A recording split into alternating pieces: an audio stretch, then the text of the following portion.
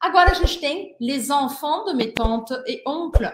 Como chamam os filhos dos meus tios? Os filhos das minhas tias e dos meus tios. Ce sont mes cousins.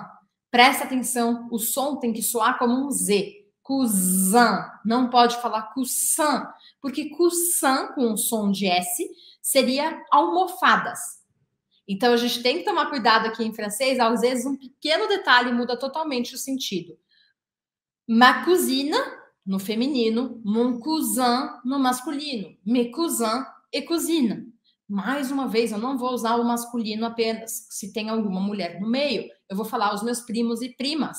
Eu não vou falar os meus primos, tá? Pode até falar, mas é mais correto a gente dizer mes cousins e cousine, tá? Então, primos e primas, cousin, cousina, cousin, cousina. Eu quero que você preste atenção em um ponto de pronúncia. Cousin, eu deixo a boca aberta e eu não falo o N. Deixa eu fazer assim. Cousin, cousin. Se for no feminino, eu vou pronunciar o N no final. E aí vira cousine. Cousin. Deixa minha boca aberta. Cousine. Cousin, cousine. E é isso que vai marcar a diferença do feminino e masculino, tá bom? E agora eu vou te mostrar como on dit les enfants de mes frères et sœurs. Digamos que meu irmão ou minha irmã esteja casado ou casada, ou não que esteja casado, mas que tenha filhos. E como é que eu falo os meus sobrinhos e as minhas sobrinhas? Como que eu vou falar isso? Ce sont les enfants de mes frères et sœurs. Ce sont mes neveux et nièces. Neveux et nièces.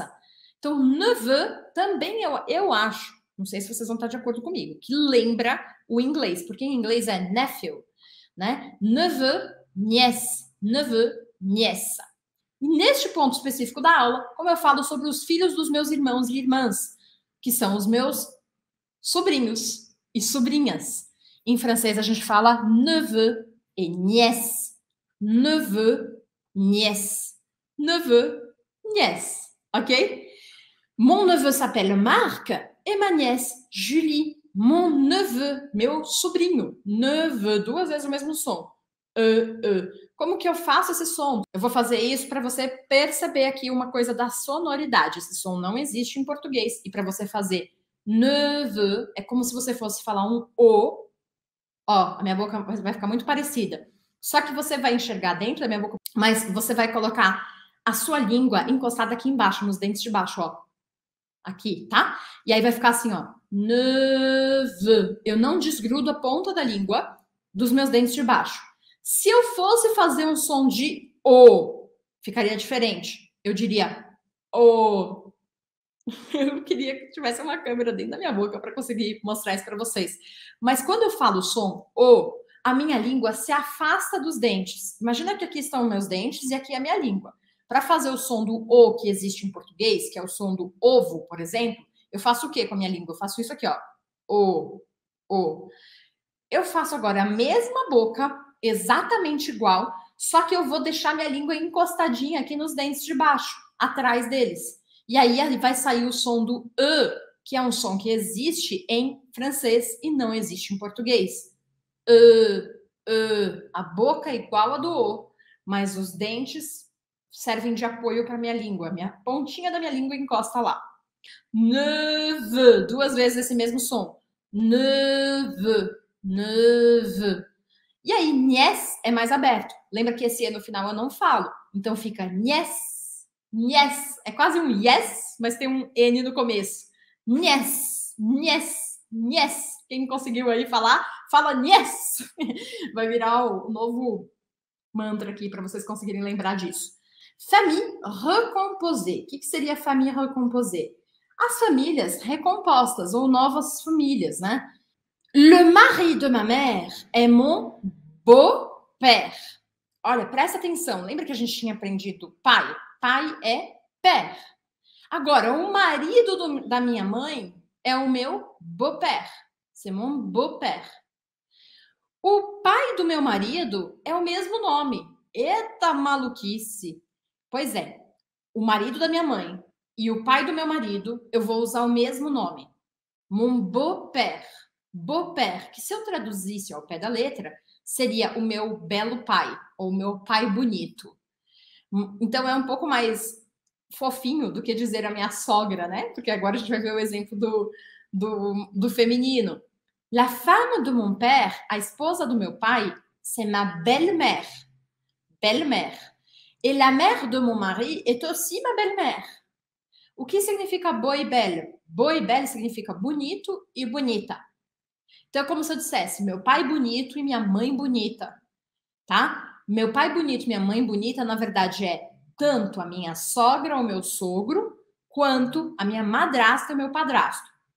É a mesma palavra, é o mesmo nome para essas duas posições na família que são diferentes. Não significa necessariamente que é a mesma pessoa, tá? Ficaria meio estranho que o seu pai casasse com a mãe do seu marido. Pode acontecer, deve ter alguma família que isso já aconteceu. Mas, de qualquer forma, é o mesmo nome. Beau-père, belle-mère. Beau-père, belle-mère. Aí, les enfants de mon conjoint, os filhos do meu marido ou da minha esposa, do meu parceiro, do meu companheiro, sont mes beaux enfants. Então, os filhos do meu marido ou da minha esposa são os meus belos filhos. Não importa se é uma criança ou se é um adulto, ce sont mes beaux enfants. Mon beau-fils, o meu. Como é que fala isso em português? O meu enteado, acho que é isso. Meu enteado, mon beau-fils, e ma belle-fille, minha enteada. Mon beau-fils, ma belle-fille. Mas preste atenção, porque o marido da sua filha e a esposa do seu filho vão ter também os mesmos nomes. Então, eu também vou falar que o meu genro e a minha. Como é que fala isso em português? Tá me vindo cunhada, não é? Nora! Obrigada, Edna. A minha nora, meu genro e a minha nogra, eu vou usar belle-fille e beau-fils também, tá? Então, esse aqui eu, não, eu, eu coloquei aqui, e agora eu vou pro ponto que eu não tinha colocado ainda. Olha que doideira eu tenho que saber o, a palavra boi belle, porque quando eu sei a palavra boi belle, eu sei falar sogro, sogra, madrasta, padrasto, genro, nora, enteado e enteada. Porque é só eu compor com a palavra que eu que eu tô querendo, tá bom? A gente ainda tem um que eu não tinha colocado aqui, que é justamente cunhado e cunhada, que eu esqueci. É a mesma coisa, imagina a confusão no Natal. Então, é a mesma coisa que acontece com irmão e irmã. Irmão e irmã, agora se for o marido da sua irmã ou a esposa do seu irmão, você vai falar belle sœur, beau frère. Então você sempre vai usar essa palavrinha beau e belle. Bonito e bonita. É para atenuar, né? Os, os, os, conflitos familiares ficam atenuados pelo nome da, da, da função familiar dentro do, do negócio.